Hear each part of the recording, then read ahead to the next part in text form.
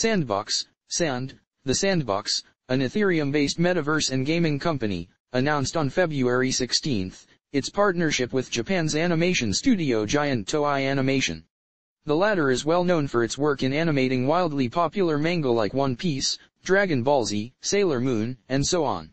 Sand price has already rallied 24% in the last two days, pushing the Relative Strength Index, RSI, into the overbought territory.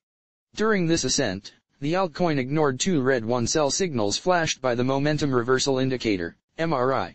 The Fibonacci extension tool shows that if the bullish momentum gathers steam, Sand price could extend to tag the 161.8% Fibonacci extension level at $0.824.